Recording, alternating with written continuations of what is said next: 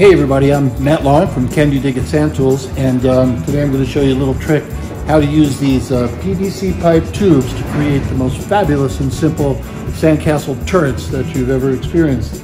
Uh, Can You Dig It Sand Tools has a beautiful line of products and this is one of the ones I am most proud of. Every sand sculptor in the world has who makes castles um, has one of these in their toolkit and you're going to love having it yourself. All right, so stay tuned for uh, Can You Dig It Sand Tools education moment. Okay, are you ready then to get your first instruction on how to use these beautiful tube forms for castle turrets? Here we go. I wet the sand and packed it down. To every sand sculpture ever made. Wetting the sand, packing it down good. Can't emphasize that enough. Now I take the Can You Dig It tube form, set it in place where I want it. And the first thing I'm going to do is add sand. About halfway up. Water. So that the sand is completely thoroughly saturated. Give it a little shake, make sure the water gets down to the bottom. Add a little more sand. And keep tapping it down. Tap it a little, give it a shake. Make sure that everything settles down compacting is working for you.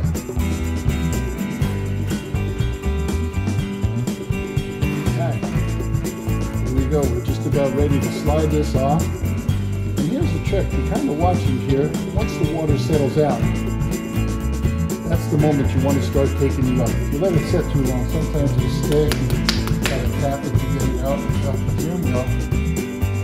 Straight up, you can straight up.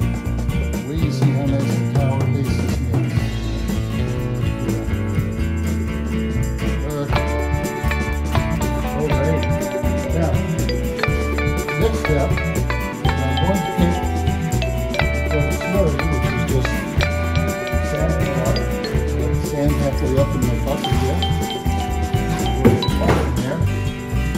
And now I have a perfect slurry in order to create the point on top of my tower. What I'm going to do is I'm going to take a handful of this slurry, very quickly bring it up top, give it a little jiggle, and nothing more. If you tap or you try too hard to shape this or smack it around, it's going to uh, fracture the connection between the grains and you'll be starting over. Just a little bit, you get it up there, hold it in place carefully, and you'll get used to doing this, but it's also, you know, the, the, the sand at the beach that you're on is going to determine how you handle it, and how long you have to hold it, and things like that. But You'll figure it out real quick after trying it a few times. It's not really hard to get a handle on. I'm going to give this one more piece to top so I can get a decent point. And you see that I like to start my shaping with my hands before I go to any tools.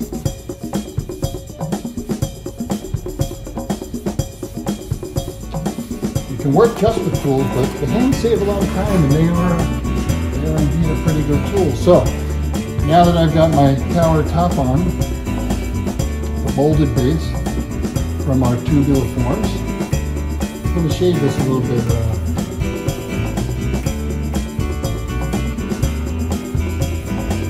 and I'm looking for a little concave contour to my, to my tower top. Kind of like a Hershey Kiss as opposed to straight out, you know. It seems to have a little more character. I like that.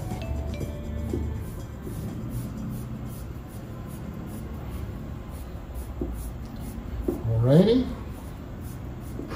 We'll reach around the back there once.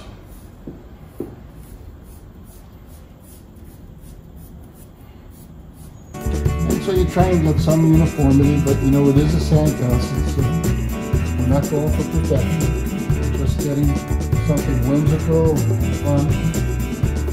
What I want to do now is next, now that I have this tower with the roof, I'm going to create the roof line all down here. So I take the same tool and I run it around in a circle all the way around. Once I have that line nice and defined, I'm going to reach in, pull away that loose sand. Without hitting the top roof line,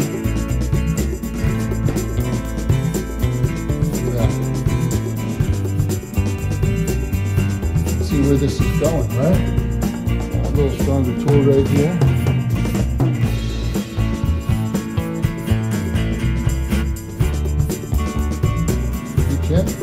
Shave down. Don't dig, don't chop. You wind up with a big hole you'll have to fix or start over with. There we go. Work this around. This is going to wind up having a slight taper from here down. I like that. Once we get it shaped up pretty good, we can cut those crenellations into the roof line that really one of the main characteristics of a tower in a sandcastle or even a real castle. A little bit of sand, we dig a little bit in, take it away.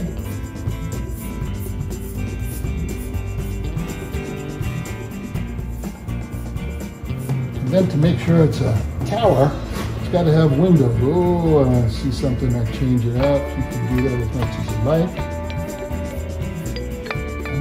Throw a couple of windows in here, a little tiny detail shaper here works great for that. I like to go from the top end to the bottom. And again, don't dig and chop, just a little bit of sand at a time you see here. And enough to get a nice shadow.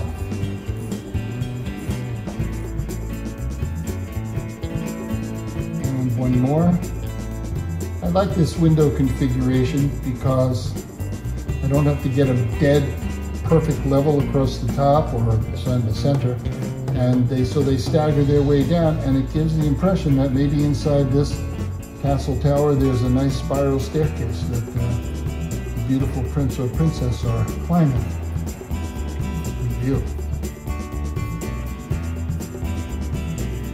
And then we just clean up some of the loose sand with our shaper, with our manually powered pneumatic sandblaster. If you pack the sand right, only the loose stuff blows away and the rest remains in place. If you want to hit it with the Can You Dig It brush, it puts a nice finish on your wall. And then the last trick, if you're up on the pile, and you want to make this look a little more dramatic, you just take this down around here, use your hands, run that sand up.